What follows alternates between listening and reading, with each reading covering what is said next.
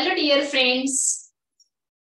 Welcome back to the Sant Tukaram National Model School channel, Latur. This is Deepali Mule. Today, we are going to continue our next video. It is about sources of light. So, in the last video, we learned about natural sources of light and artificial sources of light. So, in this video, we are going to learn what early human used. In ancient times, there were no artificial sources of light. There were no electricity, no bulb, and no CFL LED bulb. Human being could only hunt and gather food during the daytime because they don't have any type of light at night.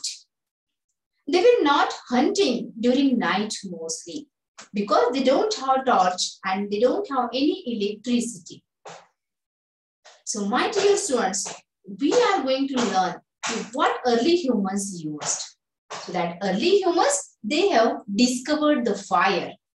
Human discovered fire by rubbing flint stone. So here I have shown you some examples of flint stones. So that peoples, they were rubbing the flint stone to each others and they were making the fires. When flint stones rubbed to each other, after some time, heat is generated and that human, they have discovered the fire.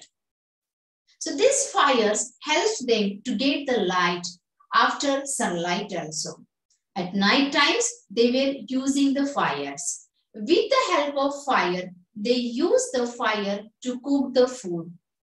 They were use the fire to guard their caves for dangerous animals with the help of this fire. Earlier human would burn firewood of light. So they were using that fire as an artificial sources of light. So that fire is one of the example of artificial source of light. After time went on, they started using the different types of lamps like oil lamps, candles and lantern. So here I have shown you some examples of artificial sources of light. So after some times, they have discovered the different types of lamps. So that afterwards, after the discovery of electricity, that humans started using electric lamps as a sources of light. So here I have shown you some electric sources of light. So after the discovery of that electric sources of light, that human had started to discover the more things about the electricity. So after the discovery of electricity, that human started using the many different types of electric sources. So we have to save the electricity so that humans started the different types of electric bulb like CFL bulb or the LED bulb. So with the help of electric bulb like CFL bulb or the LED bulb, we can save the electricity.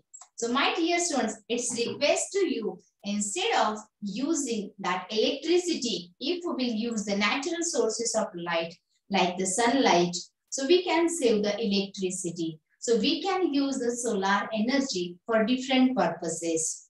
I hope you have understood this topic.